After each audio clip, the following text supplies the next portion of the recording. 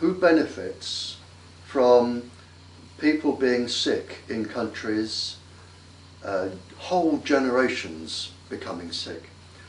Who benefits?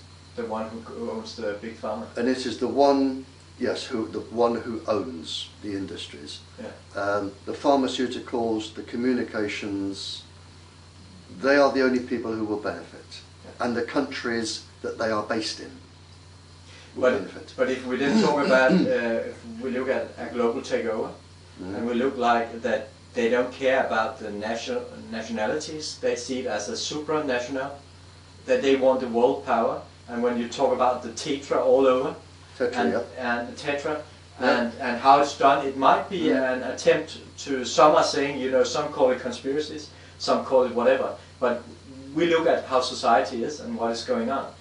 And it might look like that the populations are being run down, Mm. and many are dying actually from illnesses. It's called a slow kill, perhaps, these methods being used. And then it's part of the depopulation also if the female cannot Absolutely. get any more Yep. children. Yep, it, depopulation. Uh, I mean, what would be better than having a smaller population totally under your control? That's a slave race. Yeah. Yeah. Um, That's the may, goal. I, I don't know. It may be. Yeah, that, that's know. their goal, really. Um, so, yeah, it, it's this is where we're going anyway. And if you can manipulate the royals who control the countries, it's a bit like at the end of the war uh, when the Americans, when Japan surrendered, they kept the emperor because the emperor controlled the people, and the Americans managed. If they could control the emperor, they would control the country. Yeah. And here, if you control the royals, you control the country. It- which is simple. I mean, the, the first thing the mobile industry do when they move in is they go for the top people. Yeah. There was a there was a CIA research director in 1972. he said Yep. that mind control means a world where you can control every thought, every feeling, every Yep. observation, and every need Yep. by electrical stimulation of the brain. Oh yeah. And then you know I'm just the man on the floor, and I said, well, when you put this mobile phone to your head, and you have a mobile phone tower, Mm. and everything you do today has to do with electrical devices. Yeah. Well, could it be that we are seeing a global mind control actually program being rolled out through the wireless? I don't think so, and I'll tell you why. Because um, it may be in the, the Western world, but you have opposition like Russia. They also know that this can happen, and they will not let America or Europe dominate Russia. But what if it is Russia doing it? Well, Russia, uh, Russia may be doing it on its own people, but They are very They- clever, they are very fine. they're, they're, they're the world leaders. yeah. But they still they have a similar uh, one, but it's not. The Americans can reach anywhere in the world with HAARP. Yeah. In Norway as well, they have a hub. Uh, Yeah. And Sweden also. Yeah, the Americans can actually bounce waves off the ionosphere uh, anywhere around the world with HAARP. I can't verify that this is true. I know some of it is true, uh, but I can't verify all of it. I only know what I've been told. And I was in Australia. I, I was a, a guest in Parliament of uh, one of the ministers. Uh, Lee Rhiannon, Green, a lovely lady, uh, Green minister. And uh, I, I spent a couple of days with her talking and giving her documents. and it's one of these big black car turns up at the hotel. I had a very mysterious phone call uh, from a, a- a government official. And like you, I know when I'm talking to people who know what they're talking about. You know, if, if somebody didn't know, I, I would spot it in about 30 seconds just by the words they used. I had a, a phone call from a chap saying, we need to talk and we need to talk very, very privately. Fine, okay? So I go down big black car, and he takes me off into the night, and he takes me down into the basement of a building, and it's quite dark, and it was where he worked, quite dark, and again I thought this is going to be the bullet in the back of the head, you know. But we sat down and we, we spoke, and he said, he said, I'm very, very scared, Barrie. He said,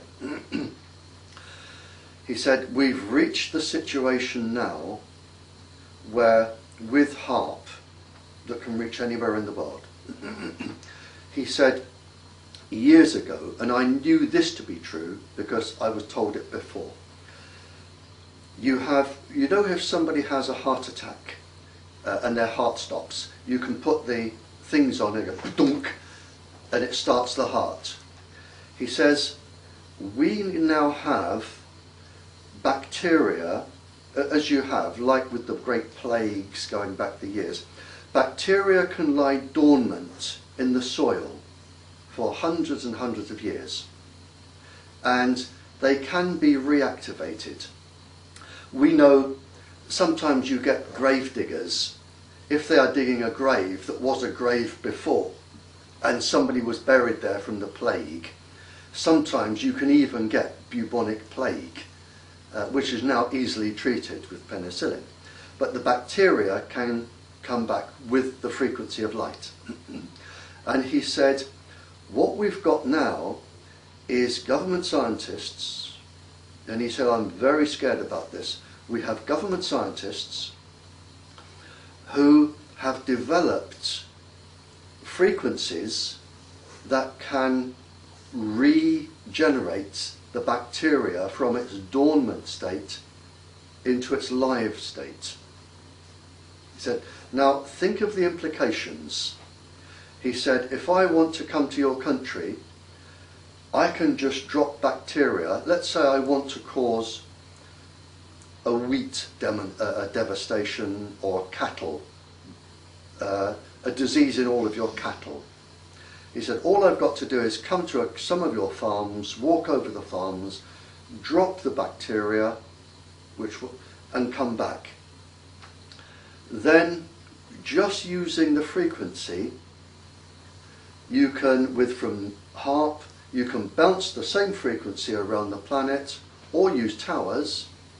You can reinstate, activate the bacteria, and you have mad cow disease, you have wheat disease, you have tree fungus. He said you can devastate a country's economic value at the push of a button. He says you can bring total devastation to the farming or the livestock of trees, whatever. You can totally devastate a country. And he said it can get even worse because inside dormant bacteria you can have dormant virus. And when the bacteria come to life, the virus will come to life. And virus can stay dormant longer than bacteria.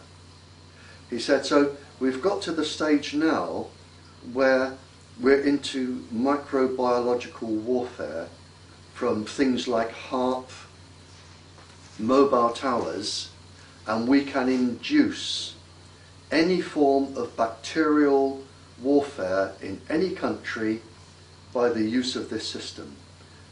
He said, and it is so easy now, and this is actually up and running. He said, it is so easy now to bring total devastation and economic ruin to any country by microwaving it and bringing the bacteria to life. Can you say what nationality, without mentioning the name, just what nationality was he? He was Australian, Okay. but he got the research.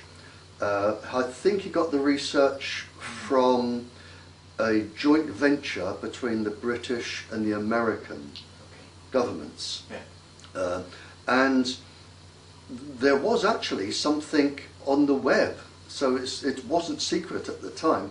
There was something on the web that somebody sent to me where it says we can now regenerate yeasts by electromagnetic pulses. We can regenerate yeast, and In yeast, you can put bacteria, and in bacteria, you can put viruses. So it was actually on the internet Yeah. first, but, but he was Australian, and it was British scientists and American scientists doing this.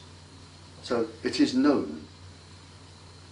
And, and this is very scary, where, you know, if, if you can bring about the devastation of a total country, you know, and then of course you go in with your aid, It makes plague look like nothing. makes plague look like nothing.